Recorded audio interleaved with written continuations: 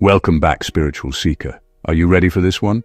Long before Plato, Descartes, or Newton, there was Pythagoras of Samos, the ancient Greek philosopher and mystic who saw in number the key to understanding both matter and mind.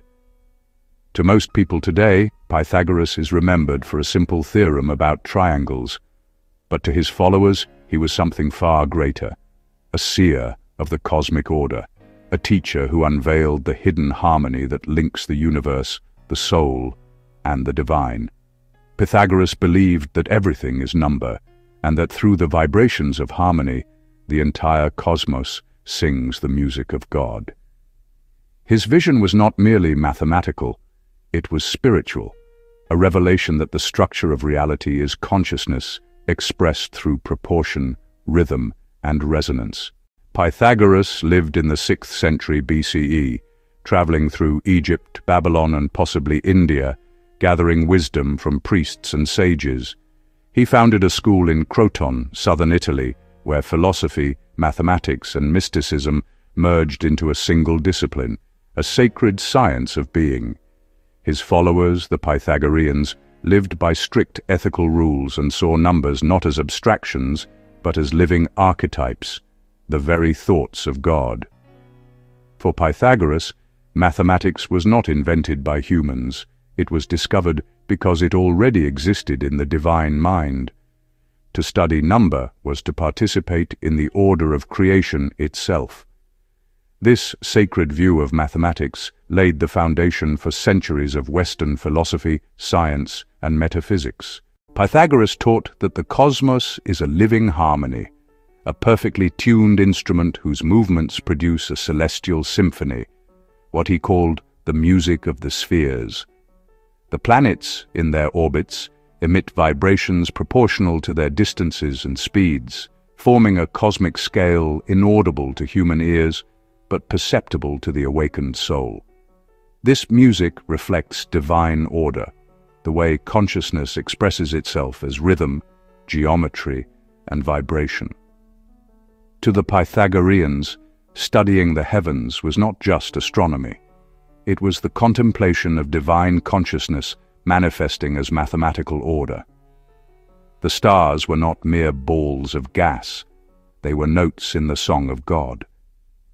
For Pythagoras, number was sacred, the bridge between the infinite and the finite. Each number symbolized a principle of existence.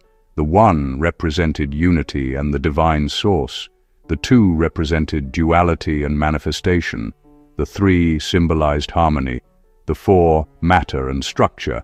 And the ten, completion and return. This numerological vision suggested that the universe is not random but structured according to intelligible patterns, and that these patterns can be known by the human mind because consciousness itself is mathematical. When Einstein later described reality as the comprehensible made manifest, he echoed this ancient insight. The human mind can know the universe because both arise from the same rational harmonic order. Pythagoras taught that just as the cosmos is governed by mathematical harmony, so too is the human being. As above, so below, the structure of the soul mirrors the structure of the universe. The rhythm of the heart, the frequencies of the brain, even the geometry of our DNA all reflect cosmic proportion. The Pythagoreans used music and geometry as tools for spiritual purification. By tuning the soul through meditation, chanting, and contemplation of form, they believed one could attune to the divine frequencies that sustain the cosmos. In this view, consciousness is not merely human, it is a resonance of the divine harmony itself, vibrating through the body, the mind, and the stars. For Pythagoras, knowledge of cosmic order was inseparable from ethical transformation. Harmony was not only mathematical, but moral. To live in harmony meant to bring the soul into resonance with the divine proportions of the cosmos, to align thought, word, and action with truth. Disordered emotions and selfish impulses were seen as forms of disharmony, while virtue was understood as inner balance. This is why Pythagoras and his followers practiced silence, vegetarianism, and contemplation, disciplines meant to refine consciousness into a pure vessel for divine reason. The just life, the beautiful life, and the musical life were one and the same, each a reflection of the mathematics of the soul. The Pythagorean vision has never truly died. Centuries later, Kepler, Newton and Einstein each rediscovered aspects of this cosmic harmony. Kepler wrote that the planets move according to divine ratios. Newton revealed the mathematical laws of gravity, and Einstein described the fabric of space-time itself as a geometric field. Even in modern physics, vibration remains at the heart of reality. String theory proposes that the fundamental building blocks of the universe are tiny oscillating strings, echoes of the Pythagorean music of the spheres.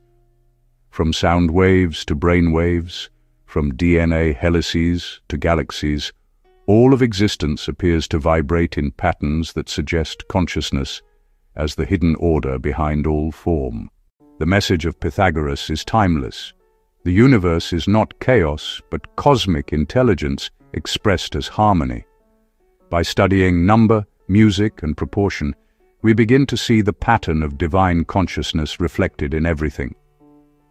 The soul, too, is a harmonic field. When it vibrates in tune with the greater whole, it experiences joy, peace, and clarity. Pythagoras reminds us that enlightenment is not an escape from the world, but an attunement to its music. To awaken is to hear the silent symphony of creation, the mathematics of divine mind playing through every atom, every heartbeat, every star. Pythagoras's legacy is more than a theorem. It is a revelation. All things are numbers, and all numbers are divine. Harmony is the expression of consciousness woven into the structure of the cosmos. The same principles that govern music and geometry govern the unfolding of the soul.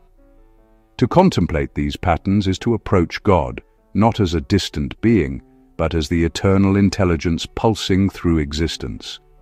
In this understanding, Mathematics is not cold or abstract, but sacred and alive, the very language of the divine mind. The music of the spheres is still playing, and through the awakening of consciousness, we can finally begin to hear it. If you got to this point, remember to check out the description below for recommended literature for you to expand deeper on this topic. Thanks for watching and supporting this project by sharing your thoughts in the comments. I will see you tomorrow with another video.